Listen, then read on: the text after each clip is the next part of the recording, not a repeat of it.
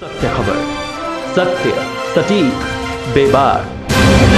खबर की बात करते हैं उकलाना से, जहाँ उकलाना में इन दिनों सिरसा चंडीगढ़ मुख्य राजमार्ग पर लगे होर्डिंग हाईकोर्ट के आदेशों की धज्जियाँ उड़ा रहे हैं।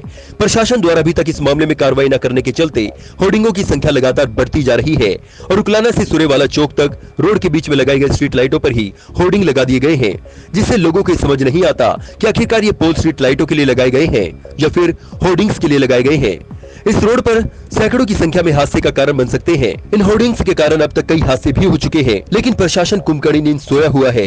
वहीं जब नगर पालिका के अधिकारी से बातचीत की गई तो उन्होंने बताया कि हमें मीडिया के माध्यम से ही जानकारी मिली है और जल्द ही कुलाना से सुरेवाला तक सभी होर्डिंग्स हटा दिए जाएँगे और उन पर जुर्माना भी किया जाएगा। नगर पालिका को आज ही आप, जैसे मीडिया के लोगों के माध्यम से पता चला है कि काफ़ी होर्डिंग लगे हुए हैं और हाईकोर्ट के आदेशों की पालना हो सके इसलिए सोमवार सोमवार और मंगलवार को नगर पालिका के द्वारा कानून कार्रवाई कर दी जाएगी और भविष्य में उनको चेतावनी दी जाएगी जिन्होंने होर्डिंग कर रखे हैं उनके खिलाफ आवश्यक कानूनी कार्रवाई अमल में लाने की कोशिश की जाएगी सत्य खबर के लिए कुलाना से अमित वर्मा की रिपोर्ट।